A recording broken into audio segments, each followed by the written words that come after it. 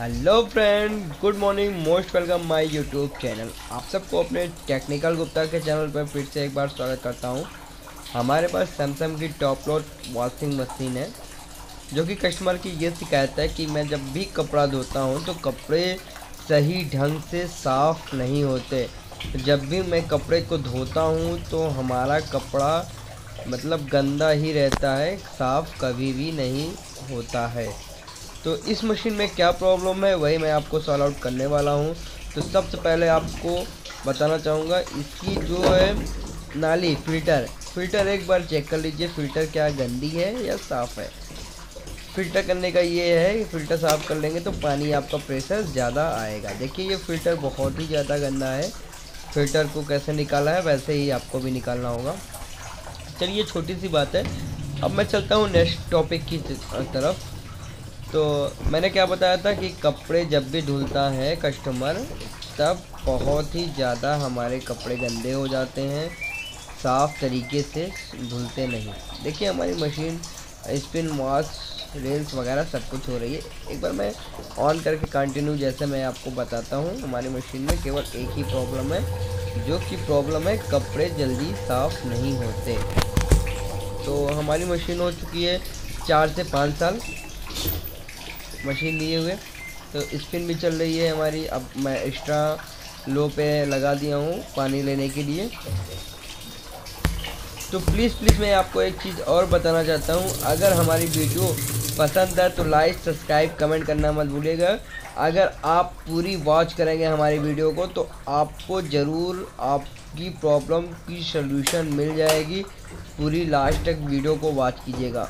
तो मैंने आपका पानी का टूटी बंद कर चुका है, प्लग आउट कर चुका है, मैं पर शेटर खोलता हूँ। ये गोल वाला जो चक्का होता है, उसको सबसे पहले खोलूँगा। इसमें क्या प्रॉब्लम है कि बहुत ही ज़्यादा कपड़े जब धोते हैं तो गंदा होता है। तो आपको करना क्या है वही सेम प्रोसेस आपको ये पल्सेटर को ओपन करना है। थोड़ी सी दिक्कत होगी टॉप रोटेड वॉशिंग मशीन में, क्योंकि चार साल से हमारी वॉशिंग मशीन कभी खुली नहीं है। तो इसको निकालने के लिए थोड़ी सी कोशिश करना पड़ सकता है। देखिए, ये हमारे खुल चुका है पल्सेटर और ये देखिए, बहुत ही ज़्यादा गंदी मशीन है।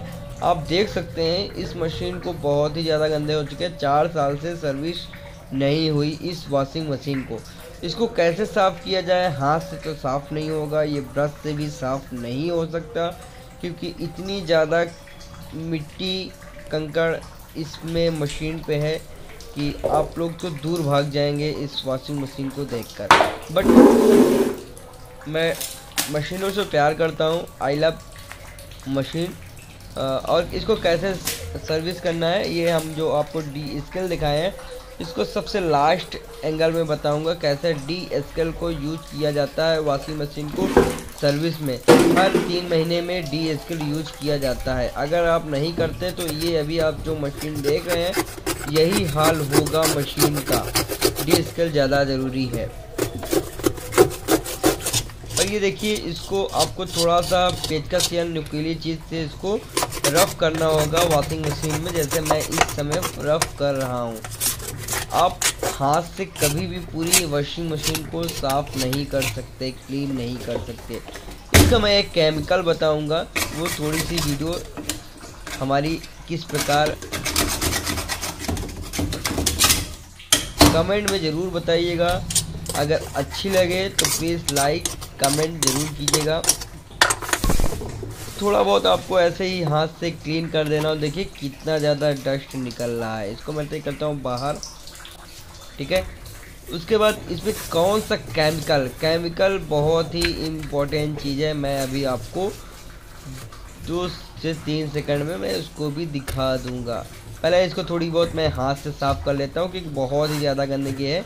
और ये फ़िल्टर फ़िल्टर ही बहुत ज़्यादा गंदी है। मैंने बताया कस्टमर जब कपड़ा धोता है तो बहुत ज़्यादा गंदगी उस कपड़े में आ जाते हैं। तो इसी कारण से हमारा कपड़ा नहीं धो पा रहा है। ये देखिए, ये हमारा बाथरूम क्लीनर एसिड है। बाथरूम क्लीनर एसिड है बहुत हाई क्वालिटी का आपको नहीं लेना है, नहीं तो आपकी वॉशिंग मशीन ख़राब हो जाएगी। बहुत ही नॉर्मल वाला जो बाथरूम क्लीनर आता है, चालीस से पचास रुपए के बीच में ही एसिड आता है। देखिए, आपको करना क्या है, जैसे मैंने एक वॉशिंग मशीन को क्लीन करके बताया था सेमी ऑटोमेटिक वैसे ही सेमी में नहीं फुल्ली में भी करनी है।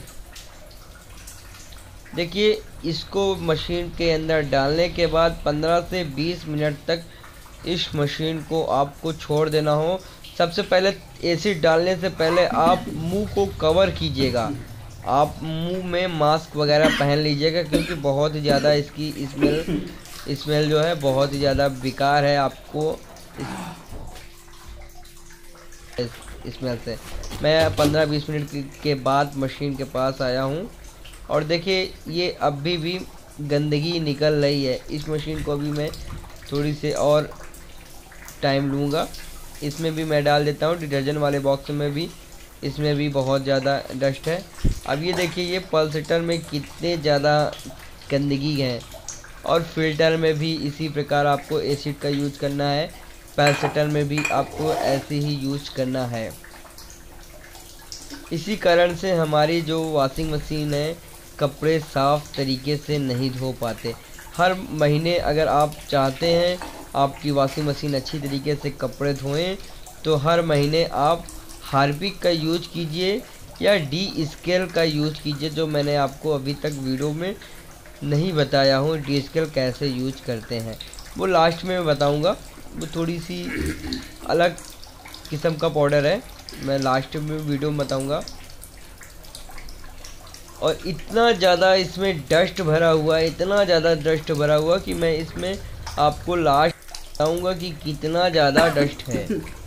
और पहले तो मैं इसको पहले क्लीन करूँगा, मैं वॉशिंग मशीन भी क्लीन करूँगा पल्सेटर भी क्लीन करूँगा। इसको स्पिन करूँगा वॉश करूँगा। देखिए, ये अब थोड़ा बहुत ज़्यादा हमारी सर्विस क्लीन हो चुकी है टब डी स्केल वाली बॉक्स भी।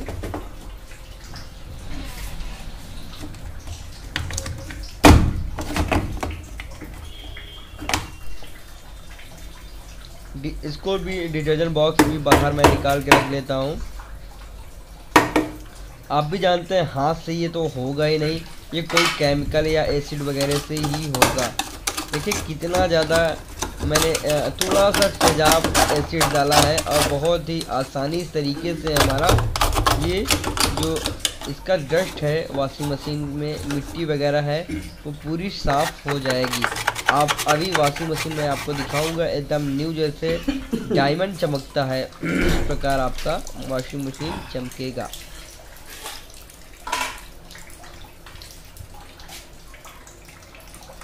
आप इसमें हार्पिक का भी यूज़ कर सकते हैं, बट ये हार्पिक से नहीं जाता, इसलिए मैं एसिड का ही उपयोग किया हूँ इसमें।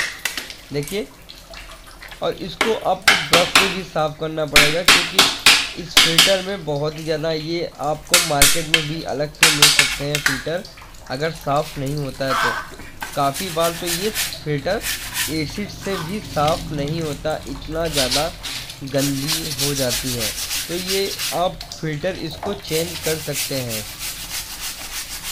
मैं कपड़ा साफ़ करने वाला ब्रश से इसको थोड़ा सा घिस दूँगा। तो आपके पास वायर वाला, तार वाला ब्रश हो, उससे भी साफ़ हो जाएगा। ये देखिए, अब मैं इस मशीन में आता हूँ। उसको छोड़ देता हूँ फूलने के लिए। अब इसको देखिए, बहुत ही ज़्यादा गंदगी है। इसमें मैं थोड़ा सा पानी डालूँगा। आप देख सकते हैं। हमारी वॉशिंग मशीन एकदम क्लीन दिख रही होगी आपको। पानी डाल रहा हूँ वाइट वाइट पूरा एकदम साफ़ हो गया, जैसे पहले था। उससे कई गुना अच्छी हमारी वॉशिंग मशीन हो गई है। अब मैं इसको वाटर पे सेलेक्ट कर दूँगा। वाश पे सॉरी स्पिन पे मैं सेलेक्ट करना जा रहा हूँ। क्योंकि स्पिन पे करने के बाद मैं इसका पानी बाहर निकालूँगा। पानी भर जाएगा, इसको साफ़ करूँगा। एक चीज़ और ध्यान रखिएगा, जब आप इस मशीन को सर्विस कर रहे होंगे तो आपका हो सकता है वॉशिंग मशीन का जो पीछे वाला ड्रेन वाल्व हो, उसमें जाके कचरा बैठ जाए और आप दोबारा जब आप सर्विस मतलब आप कपड़े को धोने लगे तो आपका पानी कंटिन्यू निकल सकता है। तो मैंने एक वीडियो और बताया है कि आपका जब अगर ड्रेन वाल्व से पानी निकलता रहे कंटिन्यू या ना निकले तो इसका जो डस्ट होता है ड्रेन वाल में जाके बैठ जाता है, उसको कैसे क्लियर करेंगे? मैं नेक्स्ट पिछला मैंने एक वीडियो इसका बनाया हूँ। उसी में आप चेक कर सकते हैं कि कैसे वो भी साफ़ हो। अभी तो हमारा परफेक्ट निकल रहा है, देखिए, हमारा पानी परफेक्ट निकल रहा है। कोई दिक्कत नहीं हुई, कोई इशू नहीं हो रही। देखिए, हमारी वॉशिंग मशीन एकदम चमक गई है, एकदम न्यू हो गई है डायमंड की तरह। सैमसंग डायमंड डायमंड मॉडल है भी। और आपको लग रहा है अभी वॉशिंग मशीन और गंदी है तो आप अब दोबारा से एसिड डाल के कुछ मिनट तक उसको छोड़कर बाहर चले जाइए। उसके बाद 15 से 20 मिनट बाद इसको भी साफ़ कर सकते हैं। वैसे हमारा 80 परसेंट वॉशिंग मशीन क्लीन हो चुका है। और मैं स्पिन मोड पे लगा चुका हूँ। अब पानी हमारा बाहर निकल रहा है। बताया मैंने कि आपका जो पानी अगर आप वॉशिंग मशीन की सर्विस कर लेते हैं तो आपका जो पानी है, वो ड्रेन वाल में फंस सकता है। ये ध्यान रखिएगा। होता है कई बार। हो सकता है आप लकी हो, आपका पानी निकल जाए, आपका कचरा ड्रेन वाल में से ही निकल जाए। लेकिन मैंने आपको बताया, जैसे कि गेंद वाल खोलने का, मैं इससे पहले वीडियो में आपको बता चुका हूँ। देखिए अभी भी कचरा हमारे जो मशीन है, उसमें निकल रहा है। तो एसिड का मैं फिर भी प्रयोग करता, लेकिन हमारे पास इतना लंबा वीडियो मैं बताऊँगा तो आप लोग भी बोरिंग महसूस करेंगे इस वीडियो में। इसीलिए देखिए, मैंने पल्सेटर को भी क्लीन कर दिया है। पल्सेटर में इतना ज़्यादा कचरा निकला, इतना डस्ट निकला, आपके सामने है। और हमारा पल्सेटर एकदम नई मॉडल का नई, नया एकदम हो चुका है, जैसे डायमंड चमकता हो। जिस प्रकार निकाला था, उसी प्रकार आपको लगाना होगा पल्सेटर वगैरह। ये भी आप साफ़ कर सकते हैं, जैसे मैंने बताया एसिड से।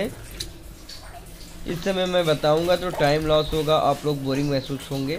तो मैं पहले मशीन को ऑन करके आपको सारा कुछ दिखा देता हूँ। टाइम इस ज़्यादा ना हो। पल्सेटर को बैठाना है, फिर पेंच को लगाना है। पल्सेटर को बैठाना है, फिर पेंच को लगाना है। फिर मशीन को चलाना है, कपड़े न्यू न्यू चमकेंगे। स्क्रू को टाइट करना है, जैसे आप टाइट करते हैं, जैसे ओपन किया था, वैसे ही। प्लीज़ अगर हमारे वीडियो पसंद आए तो लाइक कमेंट सब्सक्राइब करना मत भूलिएगा। फ्रेंड अभी पिक्चर बाकी है। लास्ट डिटर्जेंट जो scale sorry descale powder है, उसको कैसे यूज़ करेंगे टप क्लीन कैसे होता है? अब ये देखिए, मैं स्पिन और वॉश करके देखूँगा। इस पर मैं पानी लेके आपको पानी लूँगा, फिर निकालूँगा, फिर दिखाऊँगा आपको। पानी भी हमारी बहुत ही, देखिए पानी हमारी कितनी रफ्तार से आने लगा। पहले हमारा स्लो आ रहा था, पानी अब एकदम रफ्तार से आने लगा, जैसे कि हमारी न्यू मशीन हो।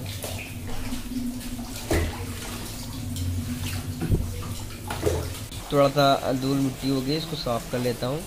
देखिए एक्स्ट्रा वाश फुल्ली फर्जी सॉरी सैमसंग डायमंड मॉडल हमारी वॉशिंग मशीन चल गई है कंटिन्यू और कितनी रफ्तार से चल रही है।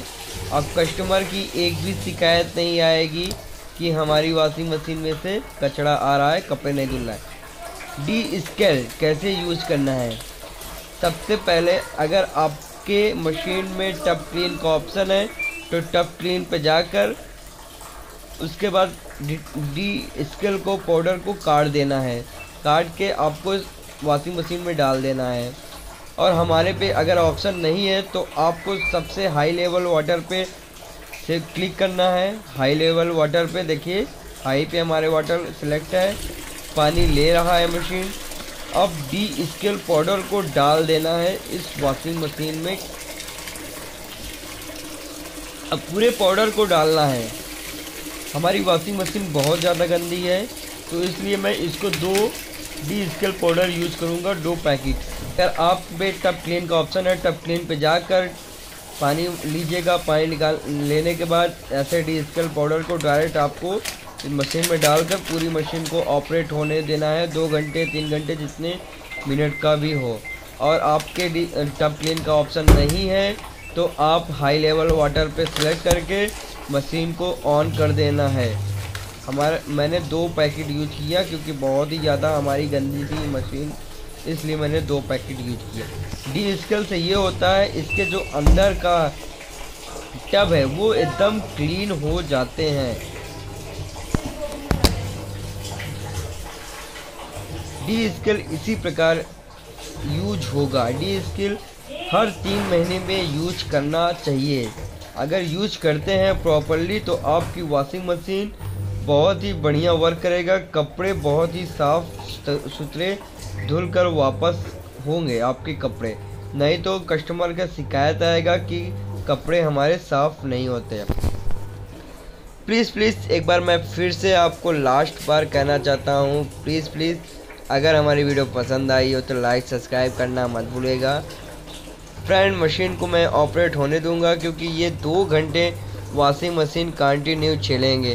दो घंटे का मैं वीडियो तो आप लोग को अपलोड करके दिखा नहीं सकता क्योंकि बहुत ही ज़्यादा बोरिंग महसूस करेंगे। तो ओके बाय बाय फ्रेंड मिलते हैं नेक्स्ट वीडियो पे। Bye bye friend see you